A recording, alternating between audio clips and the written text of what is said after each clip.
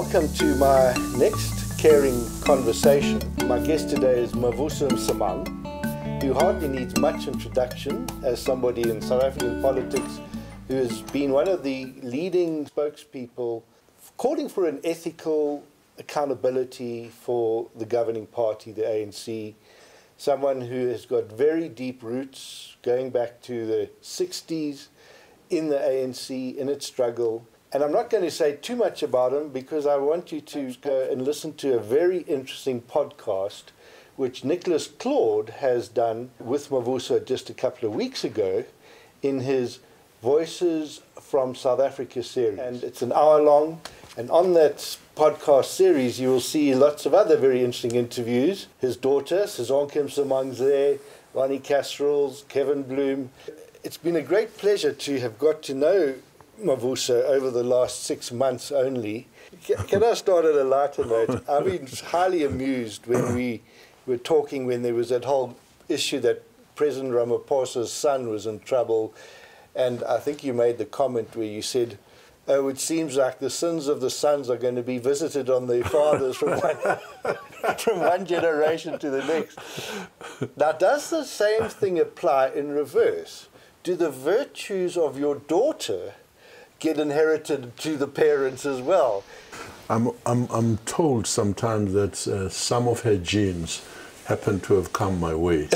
uh, this is said by people who think I try to write, uh, but nothing like uh, how she does it. So they, they, um, they, they, credit me with having picked up some of her genes.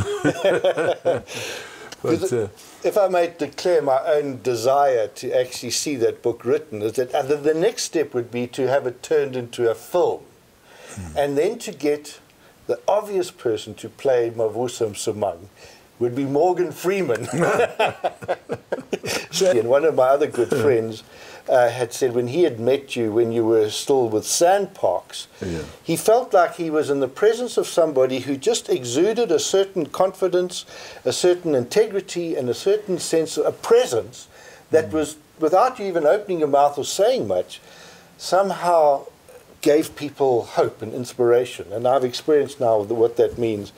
But how does that feel for you? I mean, and where did it come from for you? Well, it's very, very humbling. I mean, it's. Uh, I am not aware that that's how I impact people.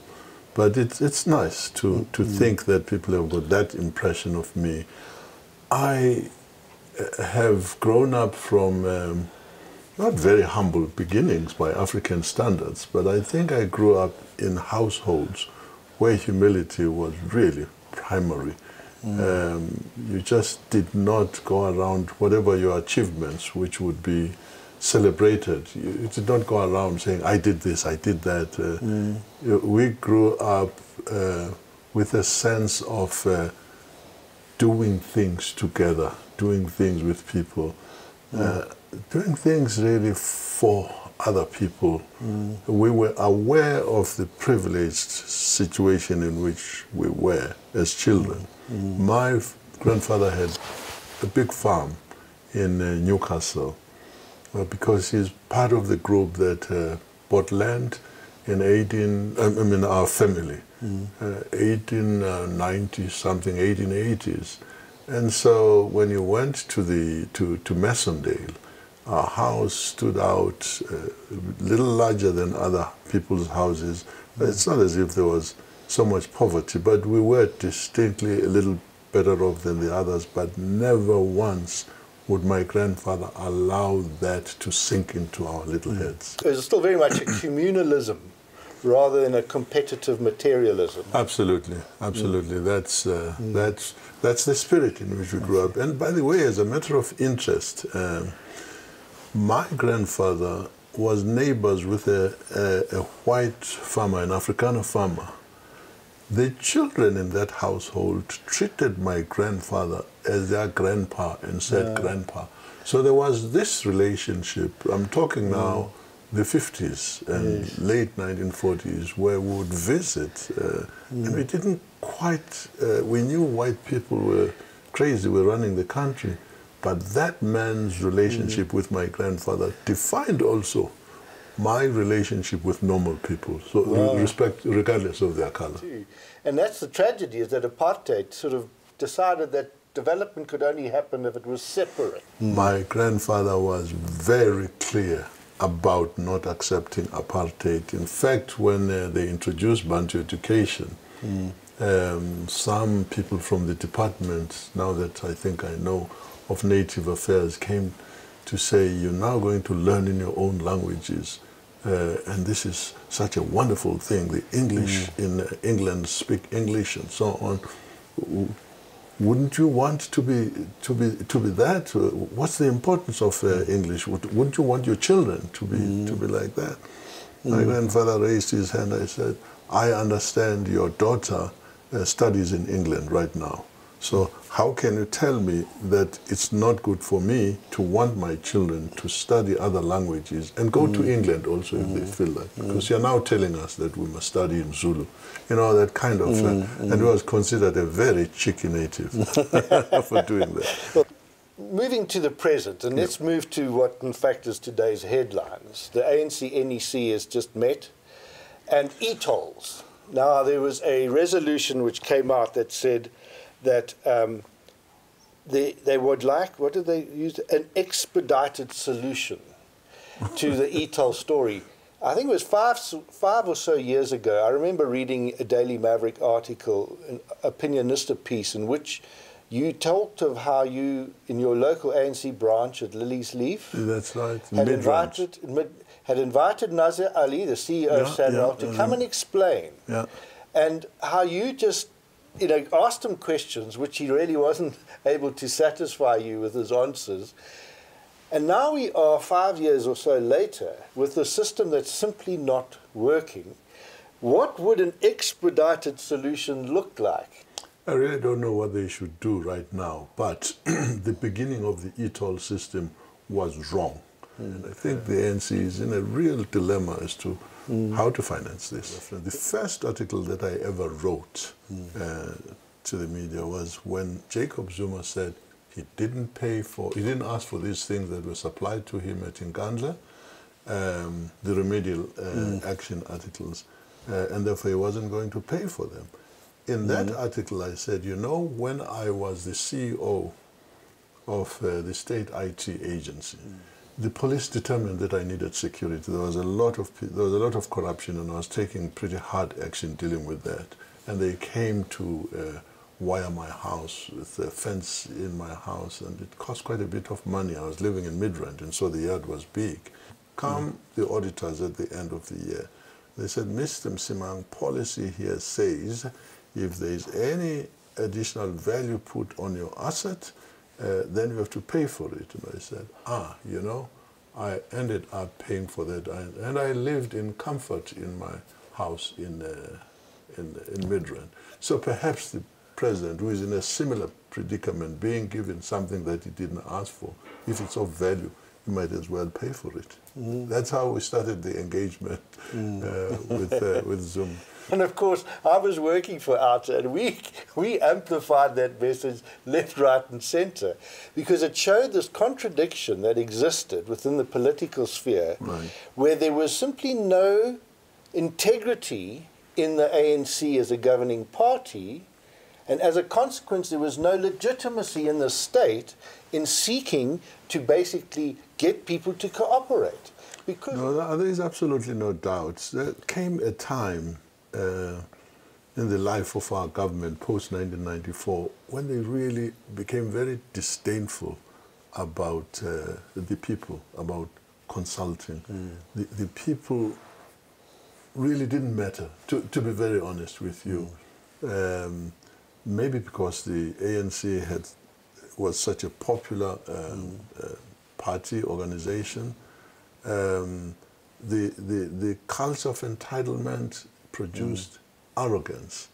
And really, you saw this in very many places where government was derelict in its duties, whether it was the people protesting uh, because of poor service delivery.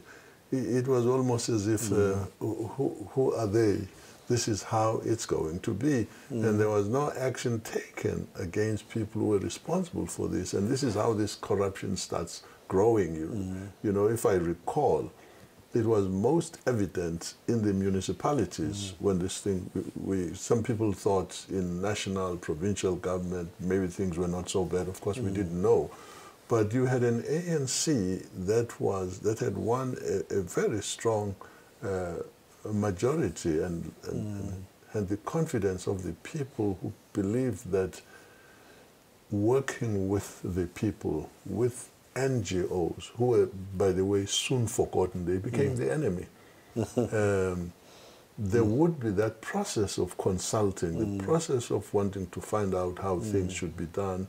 The money is paid by taxpayers and it's available to assist the poorer uh, in the, the, primary aim of the taxation should be, for the liberation movement anyway, to see uh, to the provision of the basic needs of the poorer mm. sections of mm. our uh, uh, mm. society. Mm. Mm. So I think we did develop a sense of uh, impunity, a sense of serious, shameful disregard uh, for the common person, the prioritization of the budget mm. was no longer for the provision mm. of water, sanitation, mm. of uh, well-run hospitals, uh, of proper education, pit latrines, all those things, were, the provision of things that were considered basic kept on just being postponed. I mean, I said to Nazir Alli, I said, look, you know, if if some of the money mm. that I was paying for my e-tolls as a privileged urban dweller in Joburg was going to cross-subsidize health services and road services in the rural areas of Pondoland where I work, well, then I wouldn't have had a problem with it. He told me, he said, no, it's all ring-fenced. It can't be used there. And, and, and that's really where it started to become suspicious that there was more than just arrogance, because one of my spiritual mentors, Richard Rohr, says, when arrogance combines with ignorance, that's when things start becoming diabolical. Yeah. That's when it really becomes oppressive. And my concern now, let us now move from the urban to the rural communities and to, to look at the whole question now of the traditional oh. Khoisan and oh, traditional oh, oh. I have not attended many meetings. I can count them in one hand, which consisted of people who were so knowledgeable mm. about their subject, uh, who were so humble in uh, telling their stories. You had a group of people who were authorities in the subject matters that they dealt with. It, mm. it, was most humbling. You know, you are talking about the former Bantustans, mm. mostly, lands which are classified as communal or state land, land that is under traditional leaders. Mm. There was one gentleman yesterday, a true traditional leader, who spoke for the people, who spoke on issues. Uh, my name is Shirami Shirinda. I'm, I'm a lawyer and a researcher. So I'm a legal researcher. I'm working with the Legal Resources Center. I'm also a chairperson of a, of a royal council, it's a family royal council. So my great grandfather, it's, it's got um, was was a traditional leader, and the village where I stay, is named after him. So he got this traditional leadership customarily. My role in the royal family uh, is like I'm a chairperson. This chairmanship I got it from the aunt and the uncles. The reason they chose me to be in that position is when we're gathering as a family of a traditional leader. So they realized that uh, uh, I've studied law and I've grown up in that family, seeing everything happening, how things are done. So the new traditional leader who's there is the, the, my son, is the son of my brother. It's young and he's not educated. Uh, the government now is trying to give these people powers which they never had in terms of custom, uh, which powers in the democratic situation, the powers are not necessary, of which South Africa is one. So uh, such a law I think is unconstitutional by just look, looking at that South Africa is one and we have courts for rural people and courts for urban people. That's very wrong the way I see it. The interpretation there is wrong. So they want these chiefs to be presiding officers when they've not studied uh, interpretation of statute. They should be first taken to, to school for four years to study LLB. Uh, is then that they will be able to, to be presiding officers. Otherwise, this bill should not pass. Thank you. You have people who are called traditional leaders who were actually put in such places by the apartheid regime. We are actually propping up uh, a structure that was set up to oppress black people that the ANC opposed so strongly in the 50s. Uh, this is what I think many people in government today do not realize. When they, this rush of bills about traditional leadership, communal lands, and all of that, I, I don't really quite understand. Let me not impute a motive too early for why they do that. But the impact of that is that they are really disenfranchising so many people. I think it's about 18 million people who are said to live in these areas. And their fundamental rights, which are protected in the Constitution, are being taken away and given to people who are called their representatives who do not even bother to consult mm. So them. I'm from Northwest, and our land is also one of the targets of mining because they're mining diamonds from our land, and we don't have a say, and we need to give consent. And there's actually a private land that was bought by our- forefathers. So the chiefs is, is also a part of the, the government friends that are doing all these activities. And last week, when I went to the public hearing at the legislature, the chiefs were guaranteed by the Speaker of Speakers of Northwest that they shouldn't worry because they're gonna they're going to sign deals because the president is going to sign the, the TKLB mm-hmm. and they, they're going to get allowance to sign the deals with, mm-hmm. with mining companies or whoever wanted to do business with them. And they're going to be paid and they shouldn't worry. And their traditional council will also get going to get paid. And we've seen the lady we've just listened to now, she attends meetings and the chief is so, so rough. In fact, people risk their lives when they raise issues of their rights as, uh, as, as, as citizens, but also as owners of the land where um, chiefs have been given jurisdiction to enter into arrangements with other people uh, and, and take absolutely no cognizance of the interests of the rest of the population. Because about empowering traditional leaders to engage with third party agreements with other players without having to go through the proper processes of their customary law. Is that how you understand it? Absolutely, absolutely. Mm-hmm. The customary law is not, it's, all, it's observed in the breach. Two more things. I learned yesterday that people are already acting as if these bills have been passed and they are acts.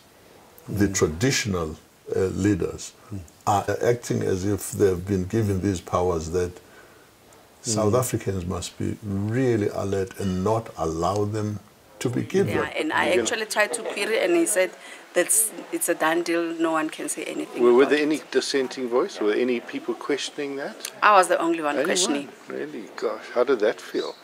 I, I felt very disappointed and I, I was I was very angry. I couldn't even sleep. Did they listen night. to you? I mean, did they give no, they didn't. And they, they, they said to me, if I've got complaints, they'll they'll give me the the, the forms to fill.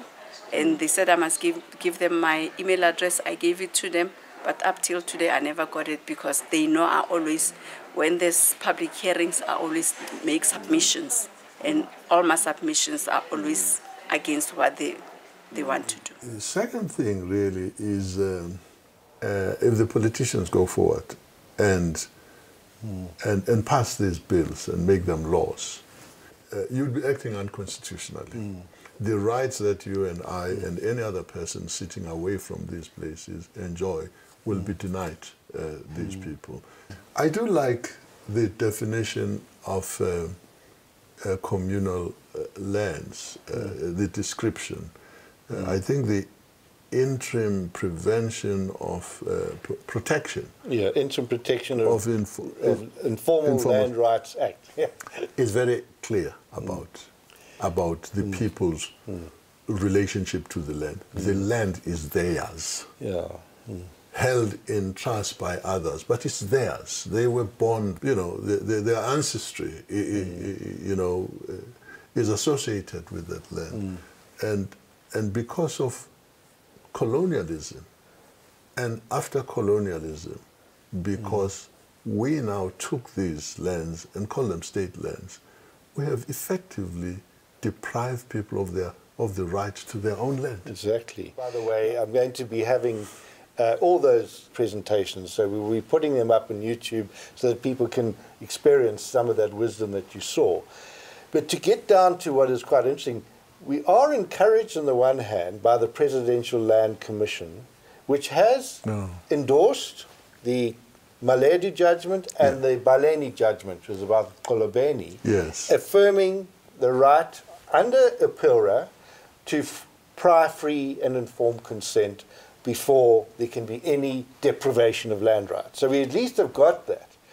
On the other hand, we know that Minister Gwede Mantashe is very uncomfortable with the thought that rural communities can veto the award of mining rights.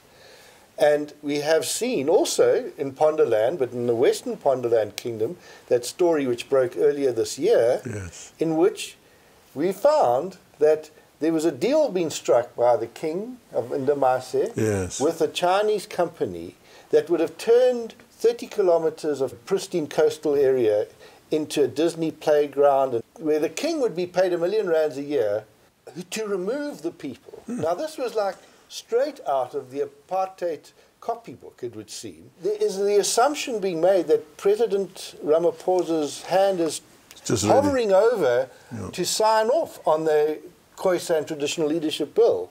Is it so dangerously imminent?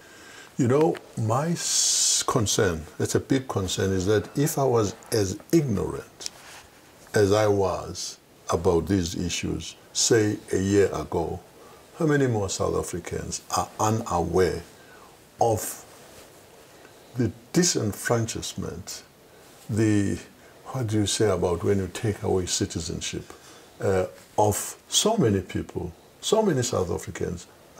Really, the number is given at about 17, 18 million, so which means 40 million South Africans really don't understand what is going on in in rural areas. Mm. And you, you're talking about the constitution. Mm. I want to talk about the ANC. We are, we are the party that brought about liberation, at least that played a leading role, mm. the leading role uh, in bringing about uh, liberation to this country. Otherwise, you- you would not have been in government successively up to today, although our performance, of course, is causing us to lose quite a, mm. quite a bit of that confidence. How does an ANC government, mm. which came to power mm. to liberate people from poverty, suddenly become unaware that 18 million people are being robbed, uh, they're, they're subjected to daylight robbery. robbery. We, we already have the, you know, the, color, the, the, the Xolobeni thing is being resisted by the people, and one must really congratulate them for their courage and mm. so on. Gwede Mantashe should have, in the first instance, found out whether mining was viable or his predecessors mm. should have. I think this whole noise mm. about whether mining or agriculture or, or anything else should be done would have been quietened by the fact that it is totally unsuitable. It's, mm. it's really not viable mm. to mine there. Mm. Uh, because uh, you know we've got global warming these days. You've got dunes there, which would invariably be disturbed by the mining that would take place. So not only are you dis- destroying the lives of the people and their livelihood. You're destroying nature. You're inviting upon this nation uh, consequences that uh, destroying the ecosystem. So, so, so everything is wrong about the approach. I understand the Department of uh, Mineral uh, Resources has got a section that deals with EIAs, you mm. know, environmental impact assessment. Mm. When you've got the leadership that is so conflicted in terms mm. of its interests, you can be sure that that EIA is going to be interfered with. One of the things that needs to be done is to take that EIA out and assign it to the Department of Environmental Affairs. That's their natural place. Well, let me You just in- interrupt you there, Mavuso, because you made the comment about EIAs, and obviously you having worked for SANParks all those years, you've got a deep passion for the environment.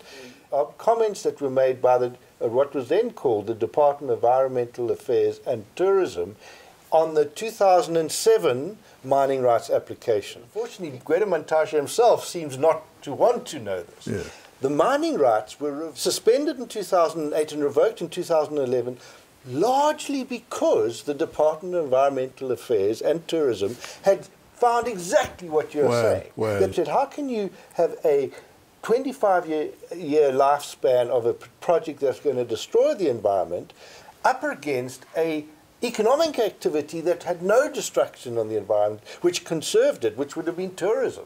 But what happened here, and this is really where I think things become very ominous, is that in 2010, Yeah, there was a change of policy whereby the Department of Environmental Affairs was basically subordinated to the Department of Mineral Resources. I didn't know then this. got Oh my God. the authority to approve EIAs. And that one environmental system, is what it's called, is in fact currently in place. And that for me is putting the fox in charge of the hen house. Absolutely, absolutely. Is that not part and parcel of what state capture was all about, too? It's no exaggeration at all that this is an aspect, that's uh, an aspect of state capture. Absolutely. You've got these mining companies who will make enormous amounts of money. And who do they bribe, if you will? Some local people, maybe BEE, uh, uh, who would get some shares. And it, it runs into millions. And if it's a big project, it could even be billions. Forgotten completely are the communities whose lifestyle will be changed because I think in, the, in, in Xolobeni they would have to move uh, away from the, the owners are the people. That Interim Protection Act makes it absolutely clear, makes clear what all of us should know, that those people have all the mm. rights mm. to, to, to a life on that land and also to the use of that mm. land. The informed consent is a wonderful provision. So, whatever is being done about these bills that we're talking about, we, we need to make sure that the people are not just consulted, as you indicated earlier, and that, and then the informed is based on a real understanding of the people, neutral people who have the interests of the people at heart should be allowed to consult the community, educate. e- educate them on things that they may not be aware of. They're already very well educated. I was impressed yesterday. But to say the, the implications, to understand the implications of uh, Mm. any intervention, whether it's mining or, mm. or, or developments and so on. You well traveled, you worked for the United Nations system for a period, you've been in many different countries. Mm.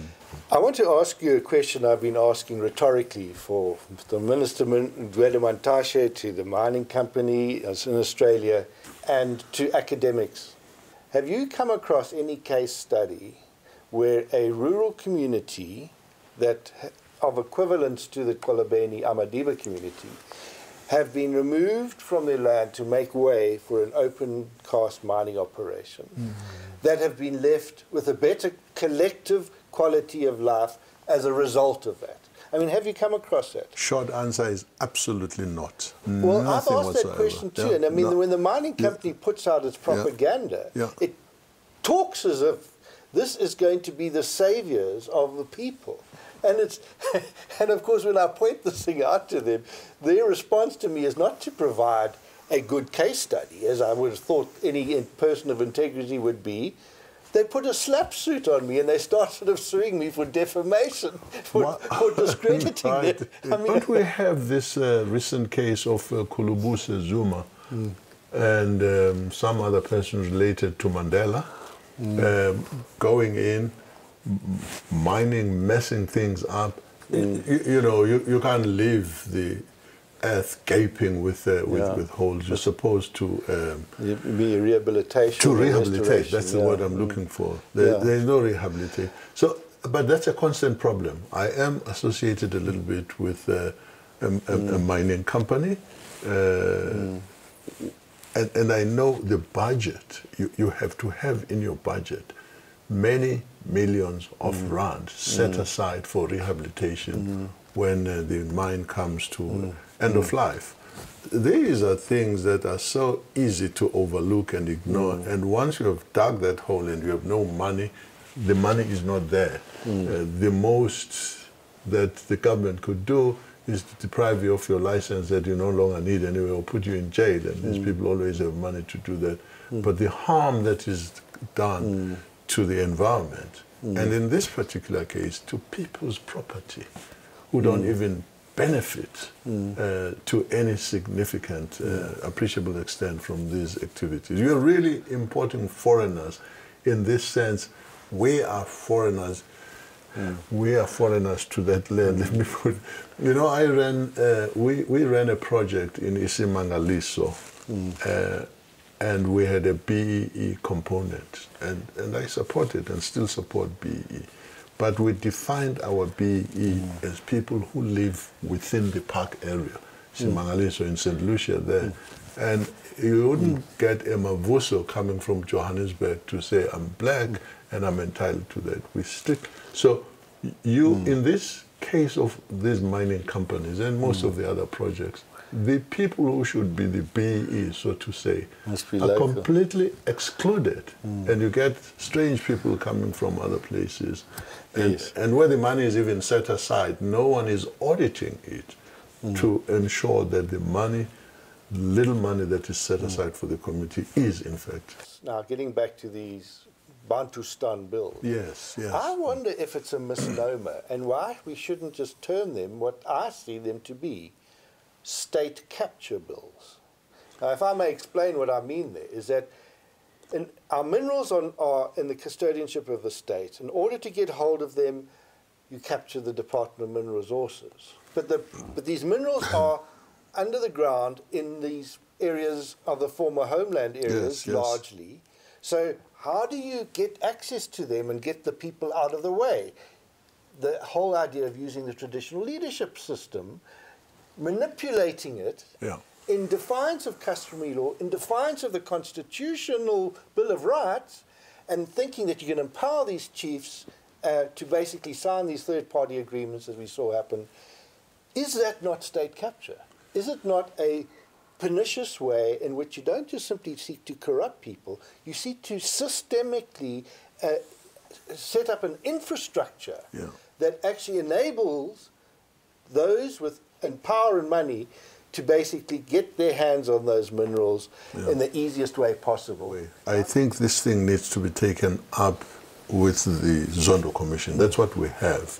Because of the manner in which it is implemented, I don't personally see anything wrong if you had minerals under the ground that would assist the community and the country uh, develop things of interest to them that that you would have the Department of Mineral uh, DMR Mineral Resources entrusted as the sovereign representative in accessing this wealth. What should be revised completely is defining the beneficiaries of, of this thing, of uh, such such wealth. Yes, it must be South African. I'm still in favor of wealth that is found in some part of South Africa being distributed mm. or being made available, the proceeds of that mm. wealth being made available to other South Africans who mm. are less fortunate, who may not be. But the, you, you can't do it at the expense of the people in whose land these things are found. Uh, I, I just want to make that Absolutely, point clear. yes. That uh, I, I think for me, you would say uh, part of the condition of the license is that you should do things that are required to be done there, by the way. Not from profits later, but it's part of your, it's part of your capital thing that uh, there must be road infrastructure, there must be provision of water and so on. It can be defined. It's not, they will still make money. They'll still make huge profits. Maybe some of the money that goes to other shareholders uh, who, whose, whose credentials are really uh, doubtful should be directed at making mm. sure that communities in which, uh, on whose on whose land mm. minerals are, are mm. found uh, should be uh, clearly, un- undoubtedly, they must be beneficiaries of that. Not to the exclusion of other South Africans, but as things stand now, you're absolutely right. This is veritable state capture. It, it really is. You have a department right now acting more in the interest of the mining companies mm. because they believe that the revenue is going to mm. assist our GDP and all those nice terms that are mm. used. And the, the people of, of least concern are the people on whose land this thing. I want us to keep on going back to it's their land, even if it's not formally so. I think because the, this thing has continued for so long, mm. and, and I, I really don't know how an ANC government would be ignorant of the mm. tremendous disadvantage, mm. not just disadvantage, disempowerment of people uh, should go on for this thing. It's a matter that's reportable to Zondo. And, and, and you will find, if you go to that, uh, Corruption Watch commissioned a report on Yes, uh, yes. activities in mining. And what's, go- what's happening there is frightening. Yet billions being sent it- offshore billions. through these corrupted trusts, through Uh, uh, traditional leaders basically being milked and taken over. That the Zondo Commission's brief is not just simply to kind of find out what happened, but how do we fireproof the state Yes. For the future? Yes. How do we make sure that there are proper checks and balances? Yes, Well, the first thing that has to go is this one environmental system whereby the Department of Resources approves EIAs. Yes. Yeah. Then these, these bills must be, be kind of dumped, and we need to have legislation that is truly in the spirit of the Constitution, of ensuring that there's accountability, transparency, uh, in terms of what the Bill of Rights, Section 25 particularly, land Yes, rights, yes, yes. and Section 24, the environmental rights, the benefit of future generations that need to be considered. You considered. summarized it a lot better than I could. but really, any of these bills, y- you cannot pass, you should not pass any bill that is unconstitutional, That's right. that violates the Constitution. And when you look at Section 24 of the traditional Khoisan thing, you can see right straight away it advocates a breach of the constitution, constitutional rights of the people. So I think, you know, the veterans, uh, and I belong to ANC veterans, uh, who have been very worried about the number of aspects of governance in this country by the ANC, our, our party, have actually uh, requested that uh, we, we mount a lobby, a strong lobby against these bills.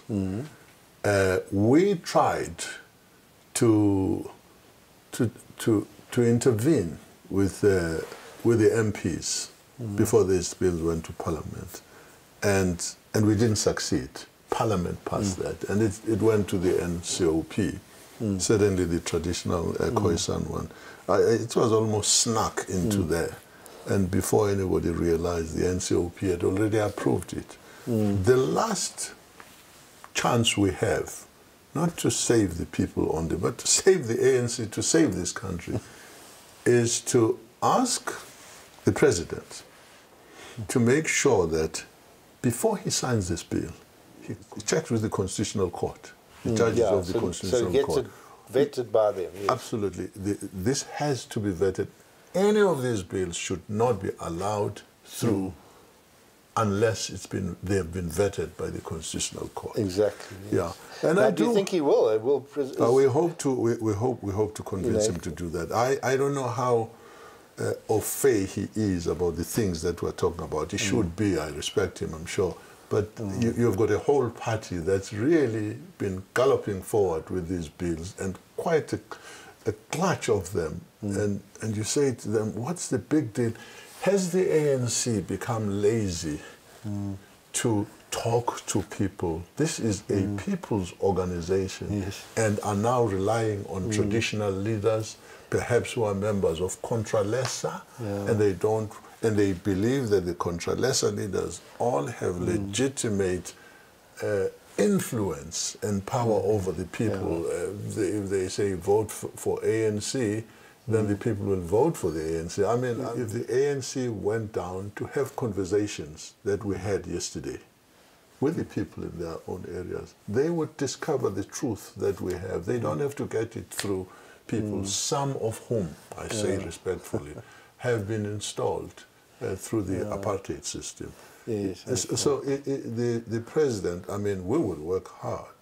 We will mm. drive very hard to mm. make him aware that the ANC will sink even deeper mm. into trouble if it now alienates people in rural areas, when in urban areas people are already moving away from us because of the corruption levels that we still seem to So be it's in the political interest for It's ANC to take over. absolutely, It's a popular absolutely. issue. It's an issue that really affects your constituency directly, and the last thing you want to do is to be betraying the struggle.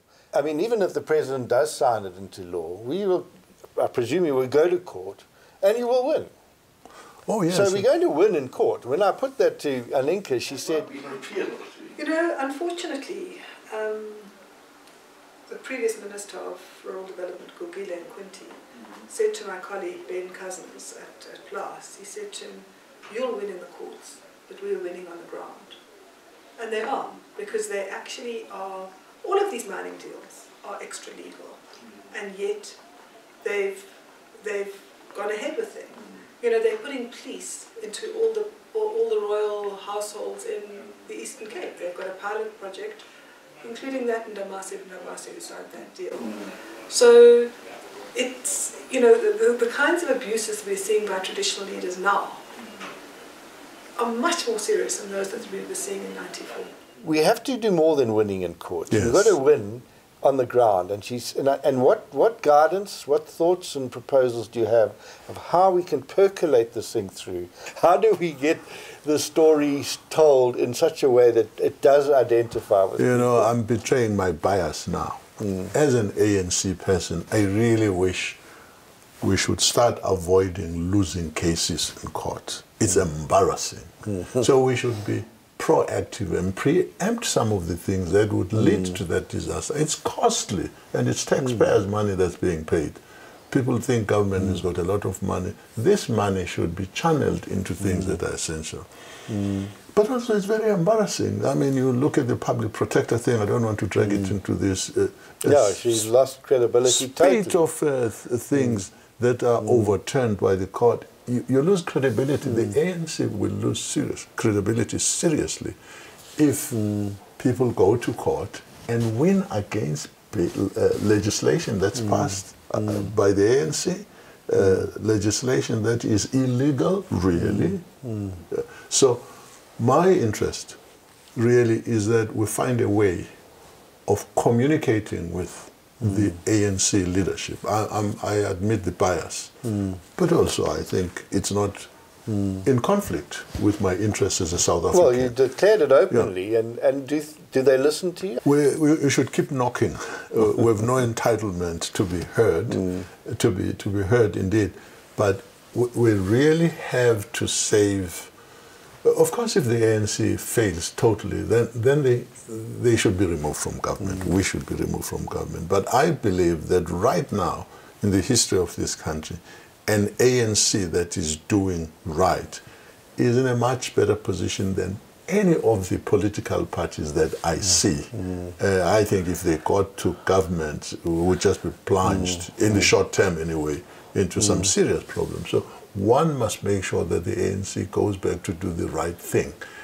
And, and, and we're really at a point now where we already asked the people who thought we were corrupt to give us the last chance, and they said, We will give you the last chance. And the last chance is not for the ANC to just stay in power, it's for the ANC to do the things that the founding fathers of this organization established the organization to mm. achieve. Mm. We have to do that, and one of the things, in respect of what we're talking about, is to really get the ANC people not to feel guilty that they've already passed legislation, to, to, to think with their consciences and say, we were not aware of the damage that's being mm. pointed out.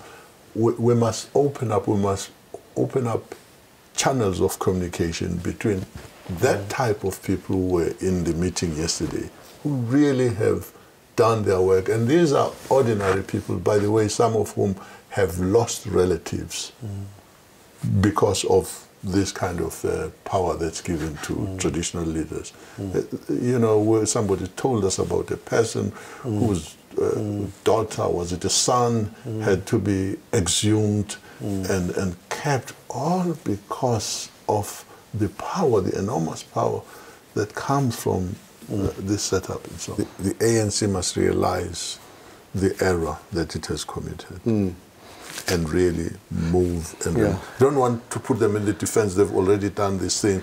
You may not They agree are. with that. I'm not sure it, it matters whether I agree or not, but when when Nicholas was interviewing uh, in that Voices from Africa, he asked her about having been very much a daughter of the ANC and experienced that communalism and all those wonderful values that even though she moved from one country to the next and never had a home like What you did she say? she said to try and save the ANC is to destroy South Africa's prospects. She thought, she thought that it was that the effort needed to be channeled elsewhere to try and somehow build Oh, and, Okay. and open up spaces. That's her father now speaking. She's written off the ANC a long Yeah. time ago. Mm. And unfortunately, she seems to be right. Mm. Uh, I wouldn't stop challenging wrong wrongdoing because mm. when you stop, you don't remain stationary. You slide, you slip, it goes down. So you just continue fighting even if you're not going to win, mm. because uh, at least you remain stationary until other forces come in, and mm. maybe it, it's it's not the ANC for its sake. Mm. We really are in a serious problem in this country. Honestly, I mean, when you look at the DA, as I said yesterday, which just doesn't seem to understand that South Africa has got black people in the majority, and and it's a majority of them in the DA who must represent people in parliament. Mm. Uh, if you've got an EFF like Ma- Malemas, which thinks that it can terrorize people, continue to be thieves, how do those people come into government? Until maybe the youth mm. comes up and mm. says, You've tried and failed. Uh, and I don't know in what frame they would be coming. Mm. Uh, you know, when you talk to Frank Chikane's son, you know, you can see the anger. He's written a mm. book. Uh, mm. He says, You guys, thank you very much. We like you, Msimang, and so on. But, but you can't make it allow young people now. We will step in and try and fix this thing. Can I draw a parallel, which is hmm. a it takes back what I'm really about as well as a, I happen to still be a Catholic um, and have a, a sense of having grown up in that, and my identity is in the Catholic Church. Right. My children are a bit like how Sisonke feels about the ANC, Yeah. they feel about the Catholic Church, for very good reason. I mean, look at the dreadful scandal that we've seen in the Catholic Church with the wholesale abuse, uh, sexual abuse, and how that systemic, terrible. I mean, it's unimaginable to me when we were growing up, and I'm sure when you were in command and mission, you know, being educated by these Catholic nuns, the fact that this church could have produced such terrible things. I have found, paradoxically, that there is a there are spaces opening up, but it does mean that one does have to be uh, ready to um, basically swim against the stream. You know, Yeah. because as you know, Malcolm Muggeridge said, only dead fish swim with the stream. So where do we see yourself I, going would, I, upstream? I, I wouldn't stand in the way of a progressive alternative to find if there is a viable way of solving our problems, I would be part of that. Um, uh, uh, and, and I haven't discovered it. As I said a little earlier, you've got uh, young people who are really serious, who, who just think that, uh, I think like Sisonke, we're beyond the pale now. That's, that's really what they think. I'm of the view that uh, we have indeed been captured as an organization by extremely greedy people, by people who are venal, people who really, a, a politician is not really a swear word. When we grew up, it was a person who wanted to do good for the community, take power hmm. and redistribute it properly. Hmm. Unfortunately, there has been a high level of infiltration into the hmm. leadership of our organization of people who don't take view politics in that manner. By the way, there are lots of good people in the ANC, perhaps not at leadership level. They have drifted out of the party without resigning from it and done other things and forgotten about politics. When you talk to them, they really know what the values of an mm. ethical organization mm. are, and they would really mm. join efforts to bring this about. But uh, then it's about getting those people not just into the ANC, but the people in the state. And the National Prosecuting Authority has been so eviscerated, but there is still some people there holding on. You know, I think of Yes. Willie Hofmeyr. You know, so there is a sense in which the state instruments are seemingly kind of now getting back into place. Very slow. Maybe we've. There's got to be some sort of spark of renewal within the ANC You to know- you know- purge its ranks of people that really have no commitment to the values of the co- John, you can keep this for your record, may not be for this interview. The statement that came out of the ANC NEC hmm. yesterday is a lot different than the ones that have been issued by Ace Magashule's office in the past, in the past year or so. It's clear that people sat down and said, this statement will be drafted by a group of people. The fact that this uh, issue of Derek Hanekom, for instance, is being referred to the National Working Committee, that is one structure. There's the reformist people. uh? I bet you, I bet you the Derek Hanekom thing is likely to be just dismissed. Okay. Likely. But Okay. I, I, I may be wrong. I am saying there are these forces that we should seek and find in the ANC. Uh, I just don't know why people are so afraid of stepping forward. The majority of people did vote for, for, for Cyril Ramaphosa. So he has a majority, however thin, in the NEC. What perplexes me and other people is why they are not active in defending their gains in, in Nasrec.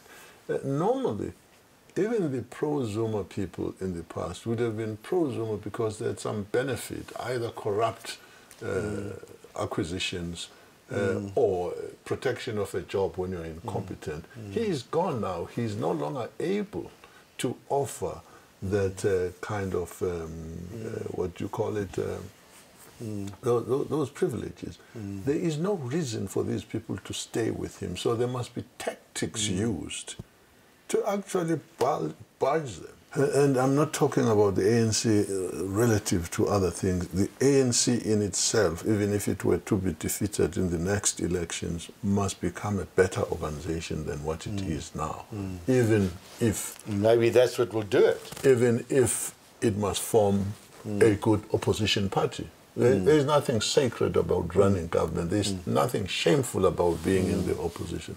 In the world today, there are coalition governments. You might end up with a coalition of mm. people who, which, which acts mm. much stronger than this mm. thing. I'm, I'm not so married to ANC being in power alone. I, I wish it could be like that when I look at the opposition today. But um, if you got a group of people, of parties, who were going to run this country decently and respect the people and do all the things that we all thought democracy was about, I wouldn't mind what the title of that organization was. And in the meantime, I have to say, by the way, that I'm only speaking to you now thanks to a certain person who shall remain nameless, Hmm. who works in the Luthuli House, who gave me your contact details. Really? he That's said, interesting, when yeah. I was really concerned for Queen Lombekiso Sigcau and Yeah, the yeah. situation that she was facing about being deposed by the, and being sort of treated so shabbily and badly, in terms of having served the Amampondo as traditional leader but been cast aside. Terrible, I got hold of somebody uh, who I happen to know. Yeah. So there are people there who are working to But try John, to we, we, we, we are assembled here, if you still have tape. Back to these bills. Hmm. It's important hmm.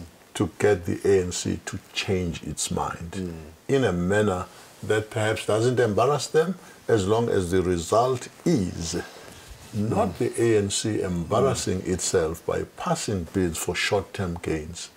These hmm. bills hmm. will be defeated when people challenge them hmm.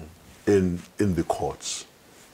By the time that happens, we will have lost so much money, so much time, and so much suffering would have continued and and, potentially increased. lives. And- and- and lives. That's what at Xolobeni. There are now four people that I know have been killed absolutely. because of that mining. This is really the message that one would like to take across to the mm. ANC. Not say, guys, you've been stupid, you've allowed these things to say, guys, think about it. I don't think you are aware of what you are doing. I mm. really think mm. you aren't.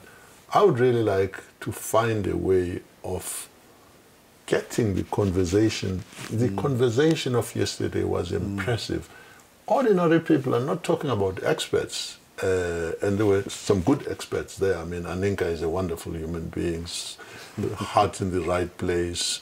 She's got the intellectual understanding of the problem. But you know, the ANC must be exposed to this. I was asked three weeks ago to talk to the uh, members of the provincial legislature, and I thought it was a wonderful thing about ethics, you know, mm. about integrity. People must ask those people, mm. uh, the ANC leaders, must have the courage to expose themselves to the people who were talking at the mm. meeting at the Mandela Foundation yesterday, to find out a little more about this thing. They will be surprised at how the knowledge is shared without any bombast and any, any anything. They will be educated. Good. Well, you've given me my work's now cut out for me. I could go on listening to Mavuso Msimang because he's such a good listener. He lets me kind of say a lot of what I believe. But it's so nice to actually see the thoughts which have been germinating, being echoed back from somebody of his particular integrity. And what he's done for me, a, a friend of mine once gave me a quote, which I thought was a lovely one to end with. He said, Hope is believing in spite of the evidence and then watching the evidence change. Wow. So let's see if that happens. Um, I'm going to be presenting on my channel the all the various uh, presentations from the yesterday, and I hope that uh, you give feedback. You know, YouTube is an excellent platform. You can give comments. We want this to be a dialogue, not just simply a propaganda exercise. And thank you so much, sir, for your generous time. John, may I thank you also for the opportunity. You know, my thoughts were crystallizing as we were talking because what we both want to achieve is justice for the ordinary people. And I think sometimes people who do wrong are nudged back when you say to them, you may not have been aware of this. It's, it's, it's not quite right. Because, you know, when you badger them, sometimes they become very defensive and so on. Mm-hmm. But I mean, really, mm-hmm. interested.